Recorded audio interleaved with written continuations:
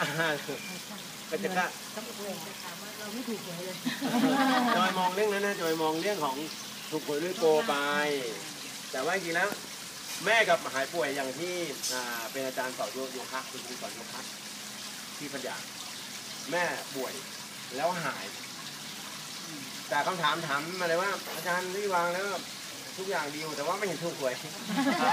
แบบว่าปกติอะต้องรักษาแม่เดือนละวันหมื่นกว่าบาทแต่หายไปอย่างนี้ก็ถูกหวยนะแต่เขาไม่คิดกันนะคนไทยจะไม่คิดอย่างนี้แล้วถ้าเกิดสมมติเราตั้งแล้วแล้วเราดูแลท่านไม่ดีอย่างเช่น เราต้องมาถวายงานถวายอะไรทุกวันพระแล้วแต่สะดวกคือพระแม่กวนอิมบอกว่าทำอะไรก็ได้ขอให้มันสม่ำเสมอเดือนละครั้งก็เดือนละครั้ง สิบห้าวันก็สิบห้าวันทุกวันสะดวกทุกตัวเลยที่อยู่กับเราจะกล่าวเรื่องอะไร ว่าพระแม่กวนอิมบอกว่าไม่จำเป็นจะต้องทำทุกวันแต่ว่าให้มันตอนบ่อยแล้วเป็นไปไม่ได้เป็นไปได้ไหมคะว่า ถ้าตั้งแล้วเสร็จแล้วเราก็ไม่เคยไหว้เลยแล้วท่านจะหนีไปอ่ามีมี